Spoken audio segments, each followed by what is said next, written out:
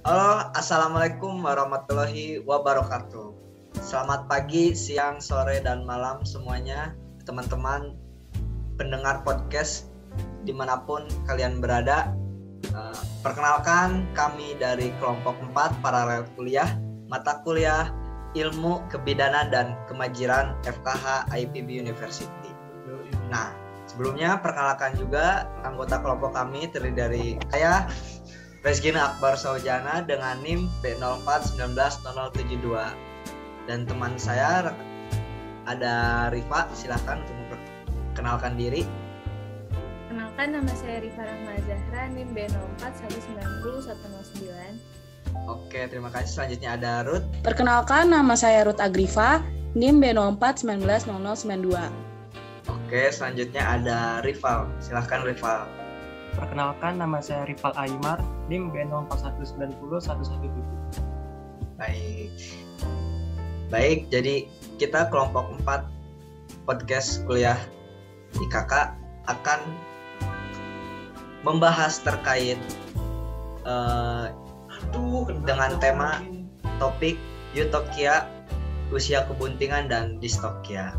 Nah, di sini jadi kita bakal ngebahas tentang apa aja sih yang perlu diperhatikan dan sebenarnya YouTube itu apa sih dan usia kebuntingan dari setiap hewan dan yang dibahas di sini tuh apa sih dan distokia tuh bagaimana dapat bisa terjadi distokia gitu. Nah, di sini kita bakal membahas ketiga topik ini. Oke, selanjutnya yang pertama yaitu ada Kakak Rifa. Baik, selanjutnya itu ada Rifa yang akan membahas terkait utopia. Nah, baik, mungkin kepada teman kita, Rifa, silahkan untuk mempresentasikan materinya. Oke, pertama-tama aku mau jelasin dulu uh, definisi tentang eutokia. Eutokia adalah partus normal atau proses kelahiran yang merupakan akhir dari masa perbuntingan. Nah, pengetahuan tentang uh, kelahiran yang normal ini sangat penting untuk kebidanan veteriner agar kita bisa mengetahui derajat abnormalitas yang emang ditunjukin oleh suatu kasus distokia. Uh, untuk eutokia ini sendiri terdiri dari persiapan kelahiran dan ada uh, tiga tahap juga saat uh, partusnya itu. Oke, kalau gitu dari teman-teman gimana nih? Soalnya kita bakal ada membahas tentang persiapan kelahiran dan Eh, fase-fase dari eutokia itu sendiri. Kalian mau dengar yang mana dulu sebelumnya? Kelahiran dulu boleh, Rif. Dari persiapan kelahiran ya, Ruth. Oke, oke, oke. Jadi kan untuk persiapan kelahiran, yang pasti nanti ternak itu ambingnya bakal membesar dan tegang. Lalu kolostrum, seperti kalian tahu, kolostrum dari ternaknya itu juga bakal kelihatan pada putingnya dan kayak kita makin kental warna kuning gitu juga kayak merembes susu itu juga bisa bisa terjadi sebelum terjadi kelahiran merembes susu sehingga uh, kolostrumnya tuh bisa kehilangan kepekatannya tuh ada juga dan menyisakan susu normal aja. Nah kalau misalnya terjadi kayak gitu itu berarti bakal kehilang uh, pedet itu bisa kehilangan antibody. Terus setelah itu setelah aming ada membesar dan tegang, terus juga ada vulva memanjang. Vulva memanjang jadi agak bengkak juga. Terus juga bisa kelihatan ada odem atau leleran vagina bening yang dapat terlihat dari 24 sampai 48 jam sebelum kelahiran. Nah, setelahnya ada ligamen pelvis juga bakal relaksasi dan semakin menonjol pada saat mendekati kelahiran. Jadi pangkal ekor dari sapi betina kelihatan lebih tegak dan otot bagian gluteal itu bakal lebih cekung. Terus eh, kalau misalnya kita mengadakan palpasi rektal, itu anggota gerak fetus atau kepala dapat dirasakan pada pelvis induk atau langsung di depannya kayak gitu. Untuk persiapan kelahiran mungkin dari jurnal aku baca sih cuma seperti itu ya. Mungkin kalau misalnya ada lagi uh, ya teman-teman bisa mencari di sumber yang lebih uh, terpercaya gitu. Selanjutnya ada tiga tahap eutokia nih. Gimana nih? Aku lanjut aja atau gimana? Lanjut dong. Oke ini mungkin agak sedikit lama ya untuk uh, tahap dari eutokia karena emang tahap dari eutokia itu ada tiga tahap pertama itu uh, tahap untuk tanda ada tanda-tanda eksternal untuk partusnya. Lalu yang tahap kedua ada tahap yang lagi proses partusnya sendiri dan tahap yang ketiga itu uh, pengeluaran dari plasentanya kayak gitu. Nah, oke, aku jelasin dari awal lagi ya. Nanti kalau misalnya teman-teman ada pertanyaan, boleh langsung ngomong aja. Untuk tahap pertama, itu durasinya sekitar 4 sampai 24 jam. Tanda eksternal eksternal dari ternaknya bakal ada gejala yang nggak nyaman, terus nanti ada berhenti makan juga, terus mereka kadang garuk-garuk tanah, ngayun-ngayunin ekornya, terus kayak berputar-putar, berbaring tapi bangun lagi kayak gitu. Terus uh, ekornya juga tampak tegak, kadang bisa ada tremor otot atau kayak mengejan gitu. Terus uh, tuh awalnya bakal relaksasi dulu, terus dia dilaktasi dan baru fetus mulai melakukan postur lahir. Terjadinya kontraksi uterus. Permukaan dilatasi menyebabkan chorioallantois terdorong ke arah vagina. Nah, lama pergerakannya tersebut tergantung pada tingkat elastisitas dan kekuatan pelekatannya.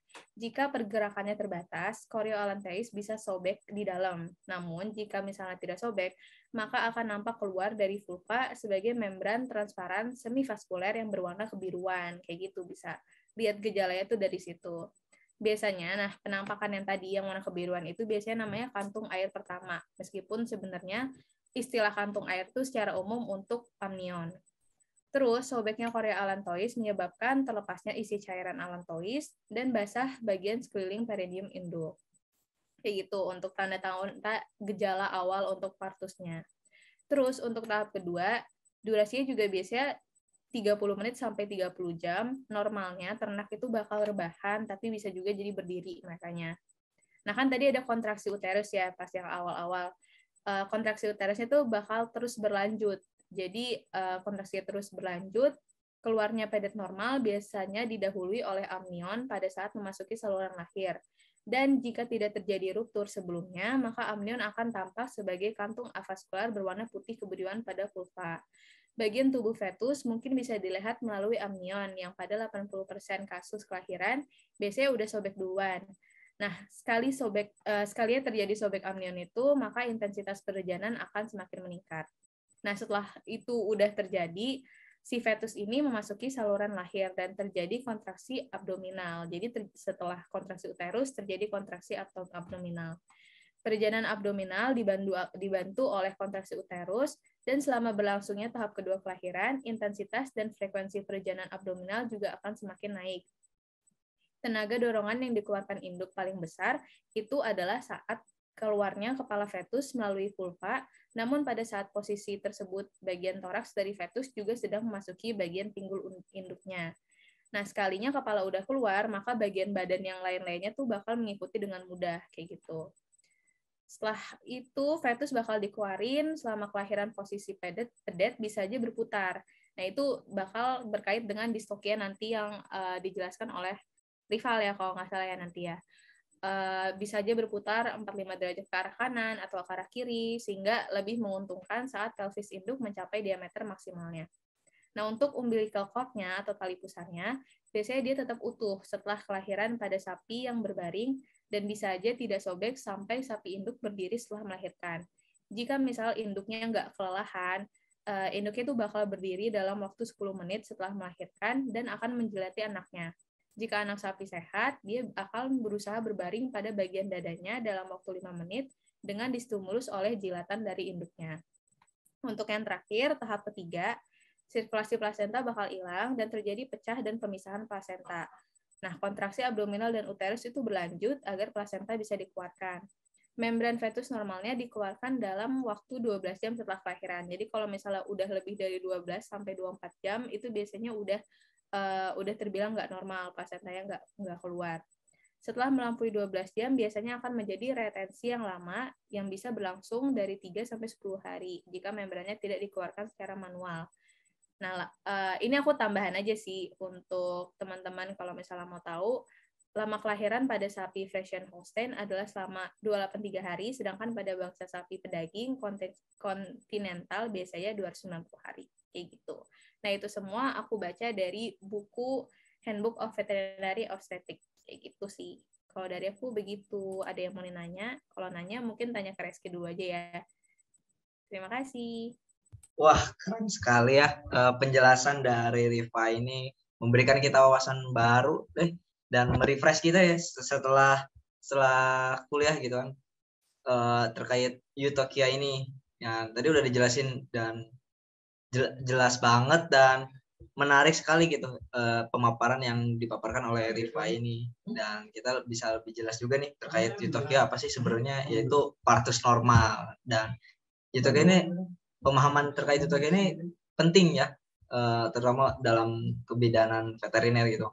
Apalagi terkait pengetahuan pemahaman persiapan kelahiran seperti memahami gejala-gejala partus yang terjadi pada hewan yang sedang bunting kan.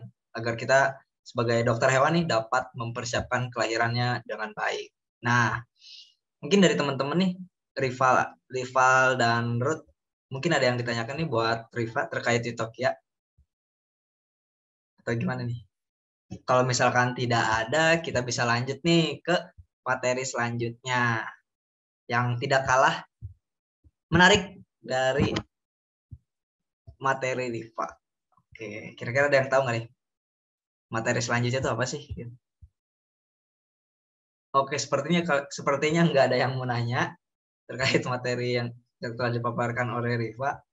Mungkin kita bisa lanjut aja ya untuk materi selanjutnya. Nah, yaitu lama kebuntingan.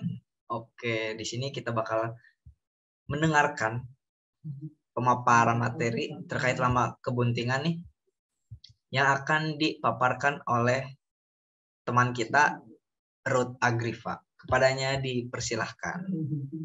Terima kasih Reski. Nah, sebelumnya uh, aku mau jelasin apa itu pengertian lama kebuntingan dulu.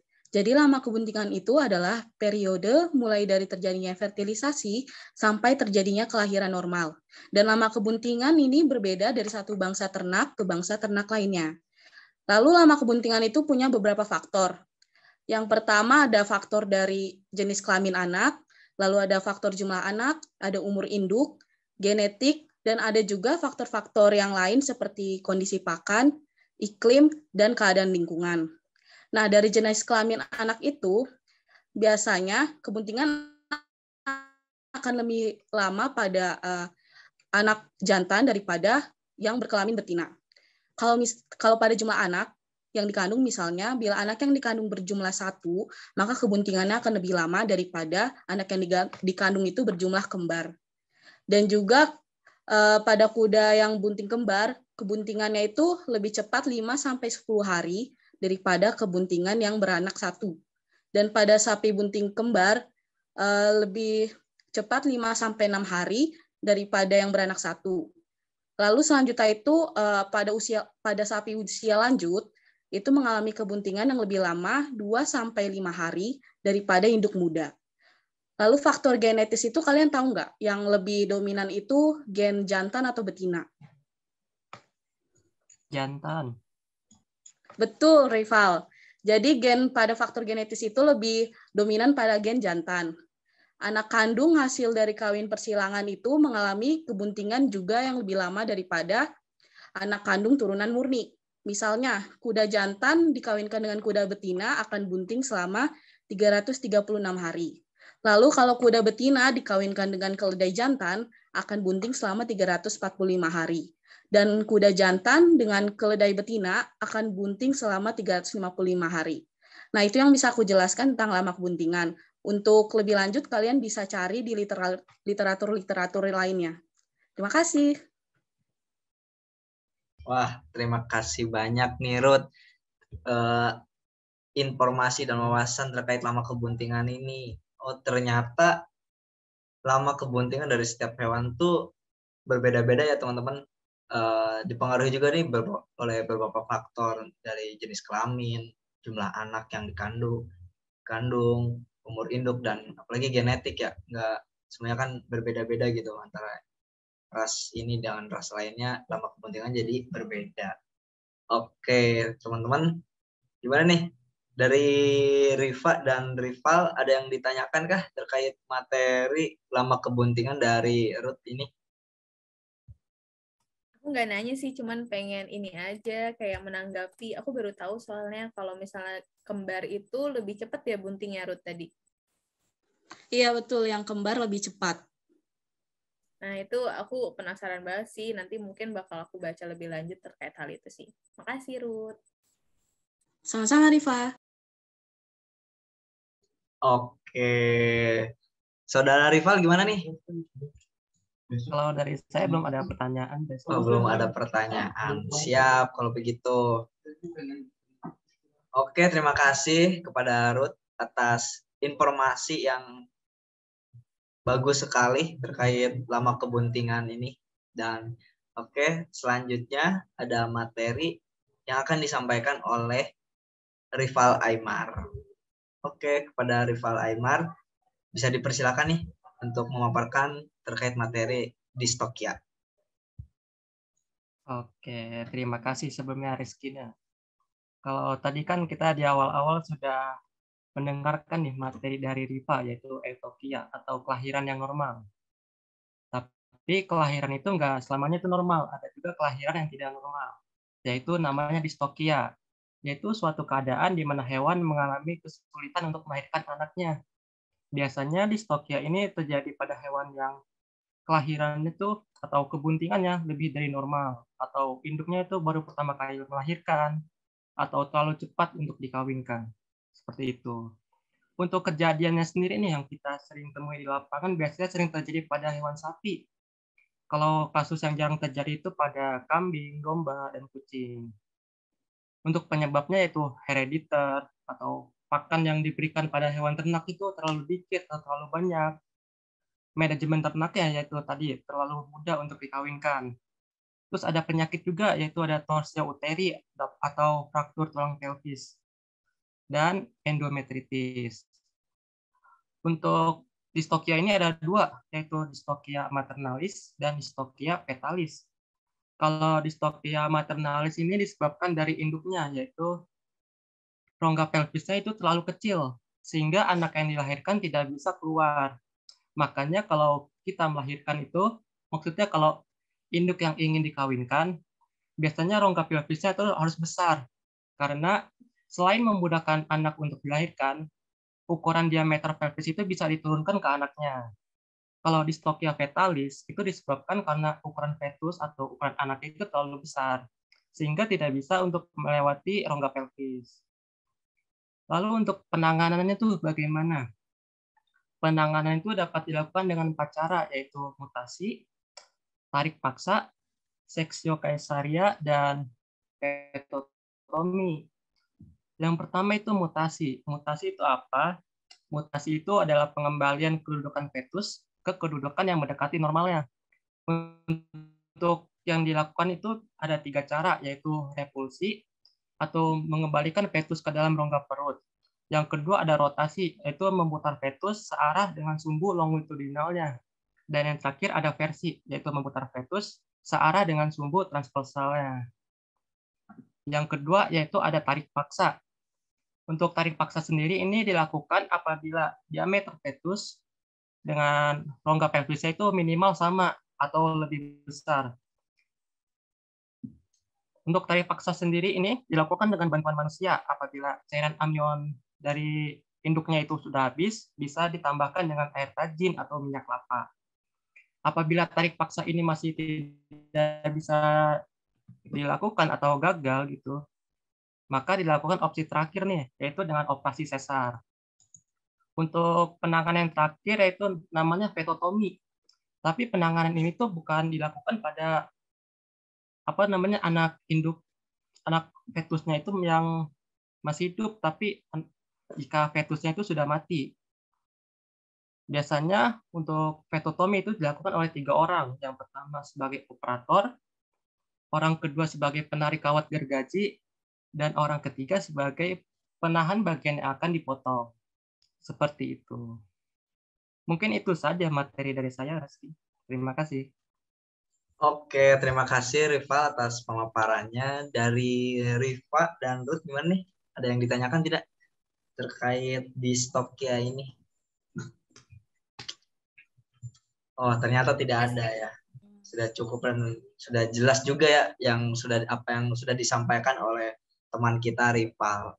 Dan ternyata fakta menariknya ya ternyata yang sering yang sering terjadi di stoknya itu ternyata sapi ya di mana sapi ini menjadi uh, komoditas uh, pangan gitu kan yang di mana banyak sektor peternakan gitu persapian ya ini merupakan salah satu jadi uh, faktor yang menyebabkan kerugian ekonomis juga ya buat peternak gitu dan tadi juga udah dijelaskan juga ya dengan baik itu terkait penanggulangannya.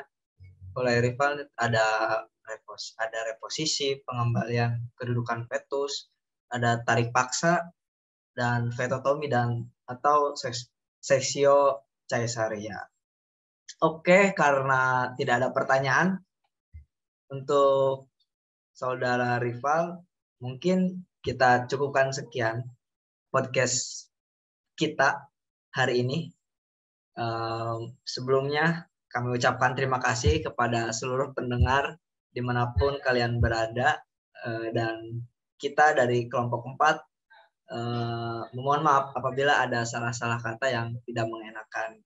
Dan saya uh, perwakilan dari seluruh anggota kelompok 4 mohon pamit undur diri terima kasih. Wassalamualaikum warahmatullahi wabarakatuh. Dadah. Dadah